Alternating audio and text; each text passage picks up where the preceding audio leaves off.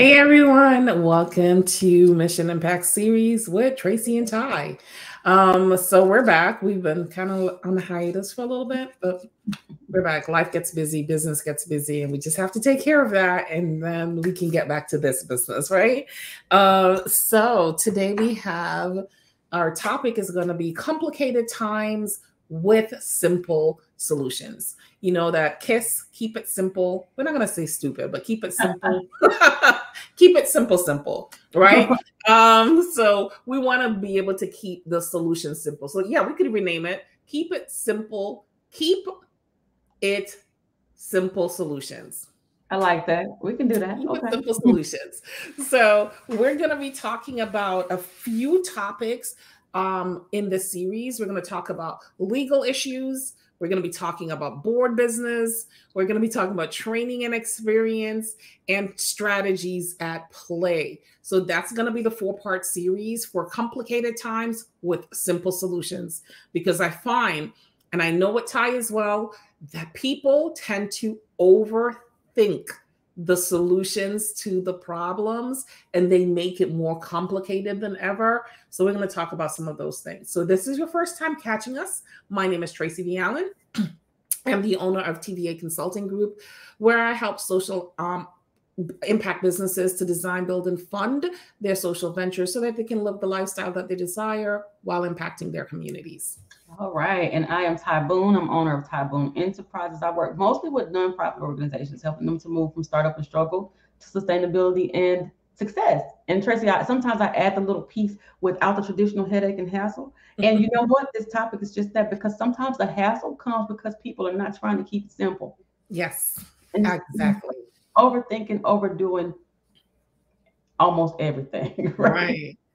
So I would think that the um for this one we're talking about legal issues. That's the first thing we're going to be talking about, legal issues. And when we talk about legal issues, we're not talking about like cases that have happened. We're talking about the legalities of the organization, whether you're a social entrepreneur, a social enterprise, a nonprofit organization, or just a regular for-profit business. Legal issues is where we get caught up, right? Because we don't have legal knowledge and hiring a lawyer becomes very expensive.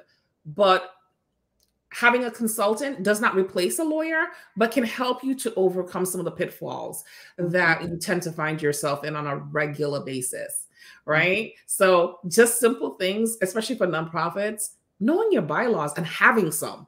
You cannot believe the amount of nonprofits I've met that have absolutely no bylaws. And if they did, it was something that they copied and pasted, and they don't know what's in the bylaws. Because when you say, um, someone will ask you, Can I do XYZ? And you're like, Maybe check your bylaws. And they're like, What?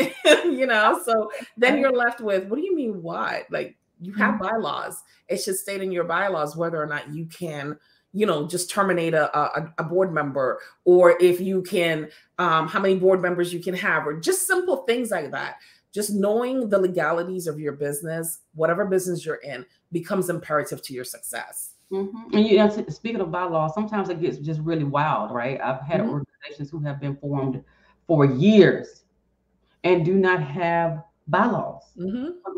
What are you? How are you operating this organization without bylaws? You know, one part of them, we're talking about legalities and paperwork.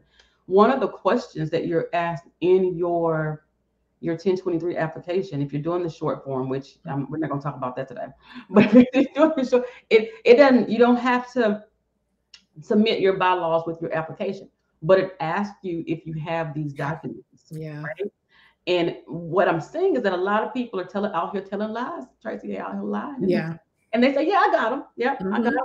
So I can get this approval and we're pushed through or whatever. And then when it's time to get to work, nobody knows anything. How long should my board be serving? How can I fire? How can the board uh, be terminated and all these things. And there's they have no governance. No governance, right? And then they're making up stuff. Yeah. You know, like Tracy said, a consultant doesn't replace a lawyer, you know, mm-hmm. if you need that legal support, but having a consultant or a lawyer or somebody that could really look at your bylaws is beneficial because sometimes y'all make stuff up that's not legal. Yeah. Y'all put them in the bylaws because you mm-hmm. heard that, hey, if the bylaws said it, then maybe uh, I can make this work. But some of the stuff you're putting in there, if it's contrary to what your state um, requires that you do, it's not going to hold up even if it's in the bylaws, right? Right. You want to make sure that whatever language you're putting in there is something that is actually what your state is requiring that you have and not mm-hmm. stuff that make up because you want to have you, you know nonprofits for example are not to be established for personal gain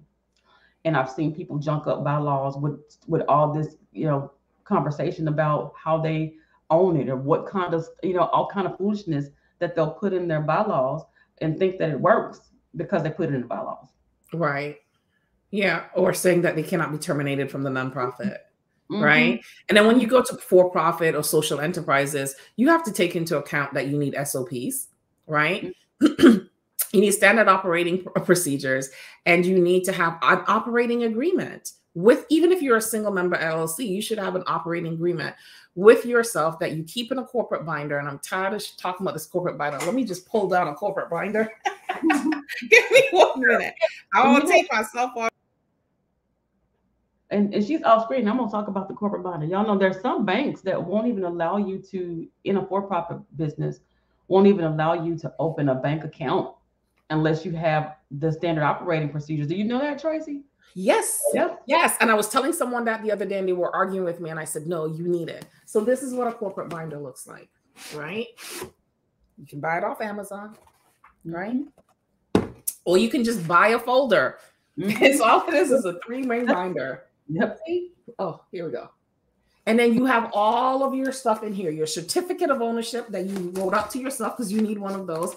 There are a lot of different things. I think maybe we need to just do um one on the corporate binder again because every time I do them, they go over very well. Like they get tons and tons of views and just kind of break down what's in here and show people how it looks and what's going on. But you need one. You need operating agreements with yourself because if something happens to you, what then happens to the business? Mm-hmm. That is um that is inside the operating agreement.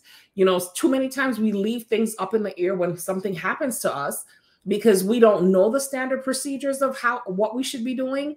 An operating rating agreement will secure your business in the event that something happens if you're a single member llc or even a sole proprietor right? What happens to the assets? What happens to the inventory? All of that can be put in there. And ty is right.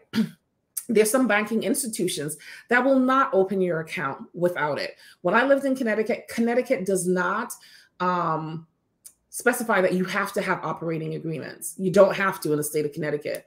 But when I went to open a bank account, um, not with a local bank, with a with a non-local bank, the bank was like, "We need up." I said, "Why? You know, my state doesn't require it."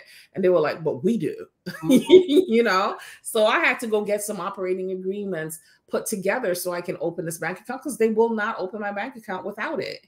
Because it's getting so, serious here. It's getting serious. If people want to know banks want to know that you are a legitimate business and you're operating legitimately. Oh, on yeah. paper that yeah. says that you do this. Um, I had a uh, someone come to me yesterday. They were they were going into a site visit, and the funder wanted to see things like the employee handbook. You mm-hmm. know, they wanted to see uh, grievances, those policies that are related to, to those kind of things. They wanted to see those mm-hmm. on site, right? And they have 48 hours to get it together. it's like, mm-hmm. okay. Um, and things that we just kind of take for granted a lot of times because we're in it, we're doing the work and we're just going on, but we're not thinking about, you know, the things that we need to have, you know, on paper. Right. Especially so, once you start um, for yourself, for your own protection, right? And so that the corporate veil is never pierced. And when once you start bringing on subcontractors or contractors and then you start hiring people you definitely want to make sure you have those legalities in place. And that's what we talk about complicated times with simple solutions. These are the simple solutions if you have legal documents in place that outline how you operate your business step by step, you just refer back to those documents. It's a simple solution to whatever problems you have. When an employee or a contractor says XYZ, you refer them back to the contract they signed. Mm-hmm. right? And that's that's even with your clients. Mm-hmm. Simple solutions. right? Yeah. So um anything else you want to add, Ty? Just just do it, right? And I hate to say that. I, I don't like to say just do it, but just do it. Yeah. Right. And it has to be done. You want to you want to show up and you you want to show up like you are like you mean business. Right. Yes. And, yes. and nothing shows that more than being prepared with your documents, you know, having things like your bylaws and your SOPs in order. Mm-hmm. Um, and, and just showing up like you like you're there to compete. Even like you said, just showing up like you're really um, in business or you're in business to win. Um, mm-hmm. we can even just digress a little bit back to when COVID happened and the government was basically giving away all this money at that point in time. It just seemed like it was candy and they were giving it away for free, right? Um, but a lot of people still were not able to access those funds because they did not have their business set up like businesses. Mm-hmm. So just keep it simple by just getting all of the things in place. Get a checklist of the things that you need. And Ty and I promise we'll come back and do a corporate binder checklist because if you have a corporate binder, you basically have your business set up. You have all of the things that you need, right? I do have some things that are missing from my corporate binder right now, but it's on my computer because I also keep it on my computer. So mm-hmm. I have it in two different places, one in the physical form and one on my computer. But you need to have copies in both places so you can pull it off the shelf if you need it. But yeah, just keep it simple by getting your legal stuff in place. That's it. That's it, y'all. All right. Bye, everyone.